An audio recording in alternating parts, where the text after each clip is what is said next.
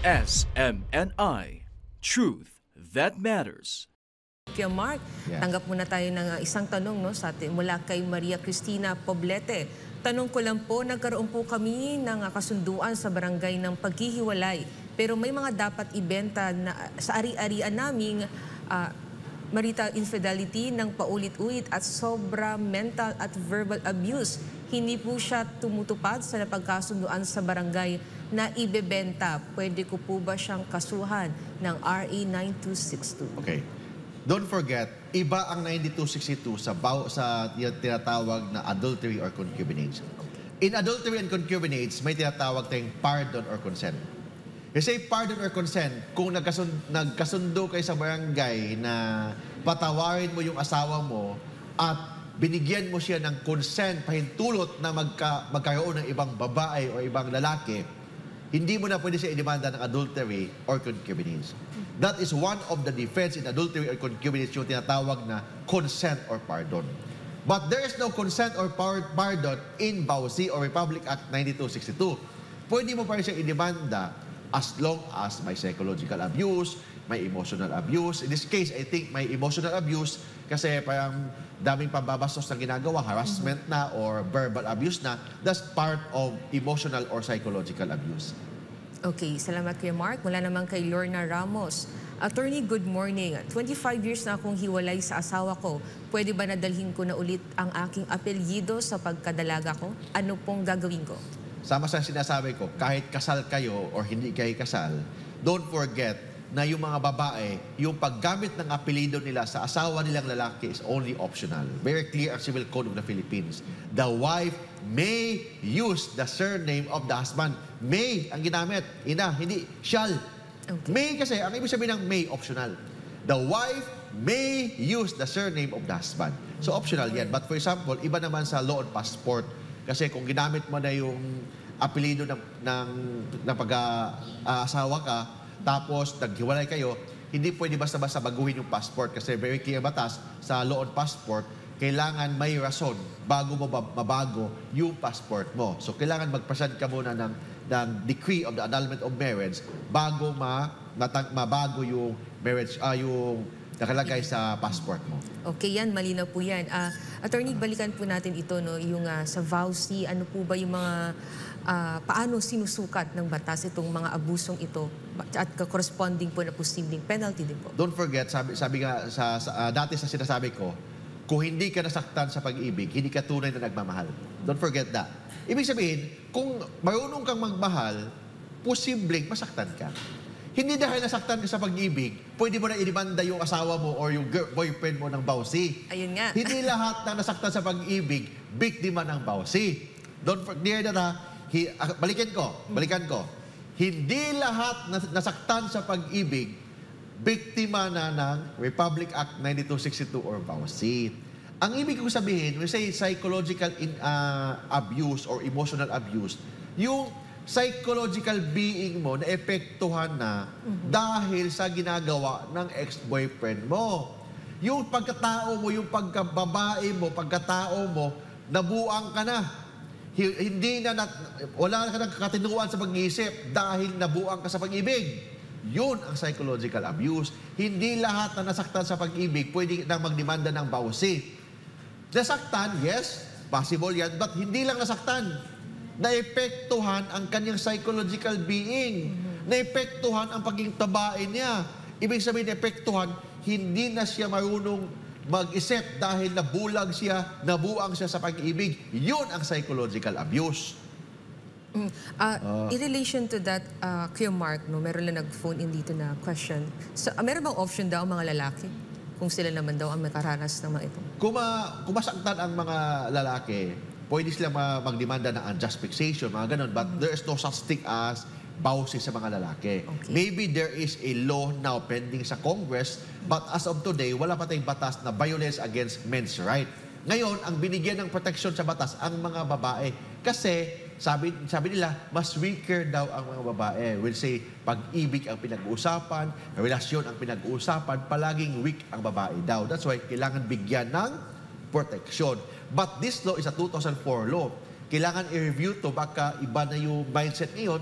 Ang mga babae ngayon, baka mas superior na kaysa mga lalaki.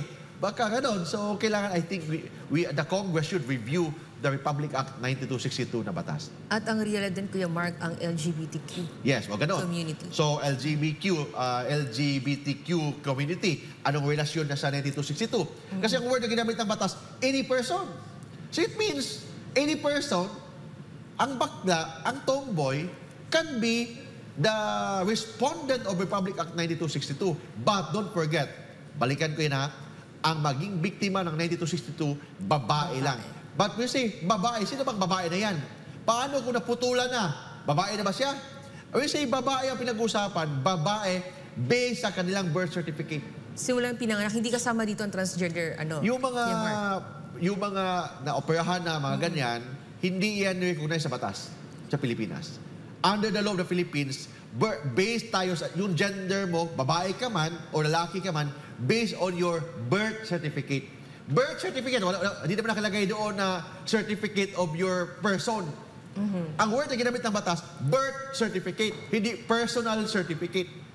Iba yun.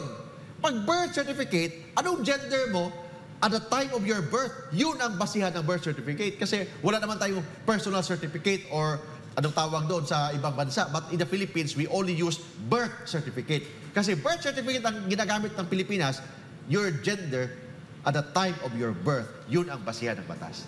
Okay, salamat Kuya Mark. Ay, kuha naman tayo ng, ang, ng isang tanong mula sa YouTube, mula, sa, mula kay Bayan Kong Pilipinas. Attorney, matagal na po akong OFW at approve ang divorce ko dito sa Europe. Tatanggapin po ba sa Pilipinas para matanggal na po ang marriage ko sa PSA dahil matagal na kaming hiwalay ng wife ko na nasa Pilipinas? Thanks po. Yung divorce mo sa ibang bansa, ma-recognize yan dito sa Pilipinas. Posible. Provided that hindi ka na Pilipino. Ah, ang, ang recognition kasi ng foreign divorce, pwede yan sa mga mixed marriages lang. Kung Pilipino ka, dalawa, asawa mo, babae, Pilipino, ikaw lalaki, Pilipino, kahit nagpa-divorce ka sa ibang bansa, hindi yan pwede i-recognize sa Pilipinas. Kailangan, isa sa inyo or dalawa sa inyo must be a foreign citizen. And pangalawa, kailangan na nag-file ng divorce ang foreigner. Kasi kung ang Pilipino ang nag-file ng divorce, hindi yan pwedeng i-recognize sa Pilipinas. Kuya Mark, ito yung uh, what if kunya uh, yung 'di ba sabi natin we protect the sanctity of marriage. Yes. And naging foreigner foreigner na itong Filipino na ito sa kanyang citizenship. Meron pa bang uh, option itong uh, iniwan niya dito asawa kung halimbawa gusto niya pa? At, Gusto pang ah, ilaban? kung may kasal sila, kung na-divorce na sa ibang bansa, i-recognize yan dito sa Pilipinas. Pag na-recognize yan, it will make the yung, yung kanyang wife sa Pilipinas single na. Pero hindi automatic single. Kailangan yung foreign divorce, kailangan i-recognize pa yan dito sa Pilipinas. Mag-file mo na sila ng petition for recognition of foreign marriage, of foreign divorce. Kailangan mo na yan, hindi automatic yan. Pag nag-file na, na-approve na, pag na-approve na yan dito sa Pilipinas, automatic yung kanyang Filipino wife or yung Filipina wife maging single na. Okay, mula naman kay Ben Angela Ton from Facebook. Good morning po sir, pwede pong magtanong. Seven years na po kami hiwalay ng ex ko. Binugbog po niya ako noon na pwede ko po ba siyang gamitin sa pag-annulment sa kasal namin, sir? Yes, pwede. Kasi ay yung physical abuse, that's, that may be a manifestation that your ex-wife or your ex-husband is psychologically incapacitated. Don't forget, the word psychologically incapacitated, yun ang ginagamit mostly. That's the abuse ground. Ano yan? Hindi mo kayang gampanan ang obligasyon mo bilang isang eh, bilang isang asawa sa iyong wife. Yun ang ibig sabihin ng psychologically incapacitated. Ibig sabihin, hindi ka marunong magmahal. Hindi ka hindi ka marunong mag-alaga. Hindi ka marunong, hindi mo talaga gam- kayang gampanan yung pagiging ah, husband mo sa wife mo. Yun ang psychologically incapacitated. Okay, salamat po Kuya Mark. Ito naman po, paano po ba mag-file ng kaso ng VALSI? Ang BAUSI, you can file it. Kailangan, of course, same also with criminal cases, kailangan mag-file ka na, maggawa ka ng complaint affidavit or paggawa mo sa PAO or your lawyer, gagawa ng complaint affidavit, i-file mo yan sa city prosecutor or the provincial prosecutor. Pag-file mo dyan, kung based anong grounds yan, kung physically abused ka, kailangan may medical legal na ka-attach na nabugbog ka, ano ba yan. Kung psychologically abused ka, your manifestation or your statement is enough na. But mas maganda, naka-attach doon ang, ang report ng psychologist. Kasi hindi lang kasi pwede sabihin mo na nasaktan ka, ah, piskal, nasaktan ako sa pag-ibig. Hindi Sinabi lang niya, hindi pwede pwede ganun. yun. Kailangan sabihin mo, nasaktan ako sa pag-ibig, tapos nag-attach doon ang psychological report ng psychologist na yung dahil sa, sa nasaktan siya sa pag-ibig, nabuwang na siya. Nabulag na siya. Hindi na siya marunong mag-isip. Dahil sa pag-ibig na yan, nag-attach doon sa sa sa complete affidavit mo, i-file mo doon sa piskal. Mas mabigat yun na evidence kaysa magsasabi ka lang na nasaktan ka sa pag-ibig dahil sobrang mahal na mahal ko yung asawa ko, mahal na mahal ko yung boyfriend ko. Hindi pwede ganun lang, baka ma-dismiss yan. Mas maganda, may supporting documents from an expert. Ano sino expert? Psychiatrist, psychologist na nakatas doon sa complete affidavit mo. Okay, meron po tayong tanong dito mula kay Marvin Malapitan. Good morning, attorney. Kapag ang lalaki po ang physically abused ng kanyang asawa, ano pong pwedeng ikaso sa nananakit na asawang babae? uh, we will follow the general law. Hindi, wala tayong mga bawsi-bawsi sa mga lalaki. So ano yung general law? We will follow the revised penal code. Depende kung anong klaseng uh, suntok. Kung mga minor lang, pwede slight physical injury, slight serious physical injury, or yung sobrang bongbong na serious physical injury. I-file yan sa court pa rin or sa piskalya, but we will use the revised penal code. Okay. Attorney, ano pong korte naman ang may jurisdiction sa kaso ng vowsy? Ang court kung saan nangyari ang krimen. Okay. Doon yan. So may tanong dahil dito, Ina. Paano naman si lalaki na sa ibang bansa? Opo. Si babae nandito sa Makati. Pwede ba si babae sa Makati mag-file ng kaso laban sa kanyang asawa na sa ibang bansa? O the ground of psychological abuse? Yes. Paano, paano na, na, na, nangyari ang krimen? Na, na- wala naman siya sa Makati, nasa Japan naman siya. Don't forget, iba ang adultery, iba ang concubinage. In adultery and concubinage, ang kaso dyan, marital infidelity. So, ibig sabihin, kailangan dito nang yung lalaki nandito sa Pilipinas, may iba siyang kalaguyo. Yun ang adultery or concubinage. But in Republic Act 9262, hindi ang marital infidelity ang pinag-uusapan dito. Ang pinag-uusapan dito, nasaktan ba ang babae? Nasaktan ba ang puso niya? Nasaktan ba ang damdamin niya? Yun ang pinag-uusapan dito. Ibig sabihin, kahit nasa ibang bansa yung lalaki, dito ka sa Pilipinas, tapos yung lalaki sa ibang bansa, may ibang kalaguyo doon. Nakita mo sa Facebook, may kahalikan, may kaya, may kayakapan, ganun ba? Sa, nasaktan ka, hindi ka na makatulog, hindi ka na makakain, hindi ka na marunong maligo, hindi ka na marunong kumain, ano? O yan, you can file a case of Republic Act 9262 dito sa Pilipinas. Bakit? Kasi ang the essence of the crime of bawsi, hindi yung marital infidelity. Kung hindi, the essence is yung ikaw babae, yung pagiging babae mo, nasaktan ka emotionally and psychologically. Hmm. Kaya Mark, ma- sa batas ba natin, meron din bang tinutukoy kung halimbawa gaano katagal ka dapat mag-file Yes. case mula doon sa kung kailan siya ginawa? Kasi baka yung mga kababaihan din na dahil sa takot, hindi nila magawa. Ang tawag doon, ah, Ina, prescription. Meron. Ah, prescription. Yung physical abuse within 20 years, pwede mo file. Okay. Yung mga psychological abuse, saktan ka within 10, 10 years.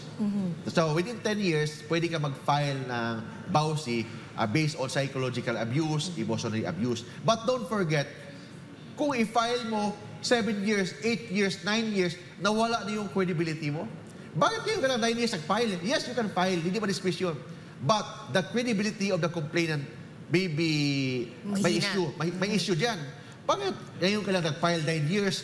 Kung sinaktan ka ng boyfriend mo noong 19, ah, 2010, o 2000, o sabihin natin, tw- 2012 ka nasaktan ng boyfriend mo, bakit ngayon ka lang nag-file 2022? After 10, after 9 years. Bakit? So, it will affect your credibility. But sabi ng batas, iba kasi ang credibility ng isang witness, iba naman yung issue about prescription. Yeah. Pag prescription ang pinag-usapan, pag psychological abuse, emotional abuse, 10 years. Pag physical abuse, 20 years. So, ang prescription. But iba ang prescription, iba ang tinatawag na credibility of a witness. Ayun, malinaw po yan mga kababayan. Meron po tayong uling tanong dito mula kay Benjamin de la Cruz. Magandang umaga po. Tanong ko lang po kung pwedeng maghabla ang mga un- under the saya ng VAUSI at kung hindi po kung hindi po, saan po pwedeng magreklamo? Yung mga under na saya, ibig sabihin yung mga under na mga lalaki. Maraming ganun. Kung may babae na psychologically abused, may mga lalaki din psychological abuse. Ang lalaki daw, matapang, matapang, sa labas, but sa bahay, under na saya pala. Ang commander-in-chief sa bahay, yung babae pala. So yung lalaki, So, pag, lalo na yung mga matapang sa trabaho, yung mga professor na matapang mga terror, under yan, sa, under the saya yan. Mga Hmm. Ay, ganun mostly, po ba yun? Hmm. Mostly, mga ganon. So, ang tanong dyan, bawsi ba yan? Hindi. Bakit? Sabi ko nga, ang biktima ng bawsi must be a girl, a woman. Hmm. Ang lala, ang, so ibig sabihin, there's no such thing as violence against men's right. May batas tayo, ah, may, may bagong bill tayo na ah, pina, pinasa doon sa Congress but hindi pa approve yan. Okay. Uh, attorney ito po, ano ang uh, penalty po? Ano ba itong posibleng maging uh, kaparusahan sa Ang- mga akusado? Ang penalty, pag physical abuse, depende sa damage. But yung sexual abuse or yung tinatawag na psychological or emotional abuse, 6 years, 1 day to 12 years. Per action. So per saktan, ah, per nasaktan ka ng, ng lalaki, nasaktan yung damdamin mo, so ang penalty do 6 years, 1 day to 12 years. But don't forget, hindi ibig sabihin nasaktan ka lang, psychologically abuse ka lang. Kasi may iba dyan na konting cute lang, umiyak na si babae, nasaktan na. Hindi ganon. So Okay. kailangan talaga may psychological report ng isang psychologist na nag-prove na dahil sa ginagawa ng lalaki, Yung yung, psychological being ng isang babae na epektuhan. Okay. Meron po tayong tanong dito mula kay June Meneses uh, mula sa Pasig. Good AM attorney. Paano po yung asawang lalaki na hindi makawakan ang kanyang sweldo o kahit anong pera na kinita dahil kinukuha ni Mrs. Hindi rin siya binigyan ng karapatan na makapag-decide kung saan gagastusin ang pera. Tama po ba iyon? Actually, hindi. Ang sweldo, ikaw lalaki ka, ang sweldo mo, conjugal property yan. Hindi yan property ng asawa mo na lahat ng sweldo mo kukunin. We say conjugal property, 50-50. 50% sila kay lalaki, 50% sa babae. Then make sure na yung yung conjugal property will take charge of sa support sa pamilya, sa pagkain, sa pag-school ng mga anak, yun yan. Hindi lahat kunin ng babae. Pag kukunin ng babae yan, so where is the essence of conjugal property? Mawala yan. But depende sa usapan niyo yan kasi sabi ko nga, ang marriage is based on trust. So, based yan sa tiwala sa isa't isa. And of course, based din yan sa pag-ibig at pagmamahal sa isa't isa. Sabi ko nga na ang obligation ng mag-asawa, mutual love, mutual respect, mutual fidelity. We say mutual give and take. There is no such thing na isang way lang yung pag-ibig. Kailangan, kung nagbibigay ka ng pag-ibig, kailangan suklian ka din ng pag-ibig. Tama. Subscribe to SMNI News Channel and turn on the notification bell to keep you up to date. Also visit our official social media accounts and join our community on Viber and Telegram.